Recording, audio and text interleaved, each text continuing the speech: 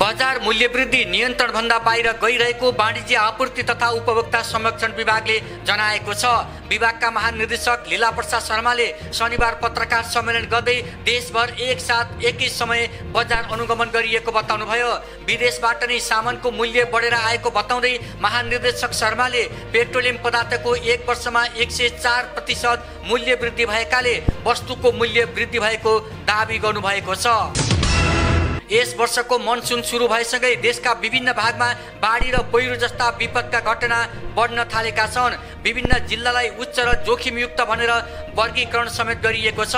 पाँच थर खोटाङ सहित त्रिपन्न जिल्ला पहिरोको जोखिममा छन्। तीमध्ये बाइस जिल्ला पहिरोको उच्च जोखिममा छन्। यसपालिको मनसुनमा औषधदेखि धेरै पानी पर्न सक्ने जल तथा मौसम पूर्वानुमान महाशाखाले जनाएको छ। नेपालमा ओमिक्रोन भेरिएन्टको नयाँ उपप्रजाति बिए फाइभ पुष्टि भएको छ। धुलीखेल अस्पतालले गरेको अनुवांशिक परीक्षण जिन सिक्वेन्सिङमा ओमिक्रोनको उपप्रजाति बिए फाइभ भेटिएको हो। अहिले ओमिक्रोन भेरिएन्टका दुई नयाँ उपप्रजातिका कारण कोरोना भाइरस सङ्क्रमण दर विश्वका केही देशमा पुनः बढिरहेको छ।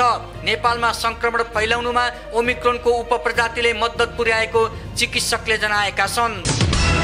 अघिल्लो अङ्ग्रेजी महिना अर्थात् सन् दुई हजार बाइसको जुन महिनामा झन्डै सडचालिस हजारजना पर्यटक नेपाल आएका छन् सबैभन्दा धेरै भारतबाट तेइस हजार दुई सय अडचालिसजना आएका छन्। समग्रमा दक्षिण एसियाबाट छब्बिस हजार तिसजना सार्क बाहेक एसियाका अन्य देशबाट दुई हजार तिन सय उनसत्तरीजना पर्यटक आएका छन्। यस्तै युरोप अस्ट्रेलिया न्युजिल्यान्ड अमेरिका र क्यानाडाबाट पनि पर्यटक नेपाल आएका छन्। काठमाडौँ बाहिरका जिल्लामा पन्ध्र दिनभित्र राहदानी उपलब्ध गराउने सुनिश्चित गरिएकाले अत्यन्त जरुरी बाहेकका निवेदन नदिन राहदानी विभागले आग्रह गरेको छ। विभागले आइतबार सूचना जारी गर्दै राहदानी विभागमा राहदानी लिने सेवाग्राहीहरूको सङ्ख्या तिन महिनादेखि उल्लेख्य रूपमा बढिरहेको पनि जनाएको छ। विभागले सबै जिल्ला प्रशासन कार्यालयहरू र सत्रवटा इलाका प्रशासन कार्यालयबाट समेत नियमित रूपमा राहदानी आवेदन गर्ने व्यवस्था मिलाएको छ।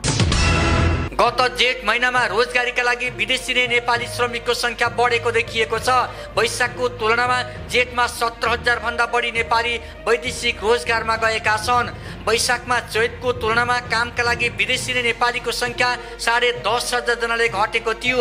वैशाखमा दैनिक औसत एक हजार पाँच सयजना विदेश गएकोमा जेठमा त्यो सङ्ख्या औसत दुई हजार नागेको छ। साताको पहिलो कारोबार दिन आइतबार नेप्से उच्च अङ्कले बढेको छ। नेप्से आइतबार सन्ताउन्न दशमलव छ पाँच अङ्कले बढेर दुई हजार छयासी दशमलव बयालिस अङ्कमा पुगेको छ।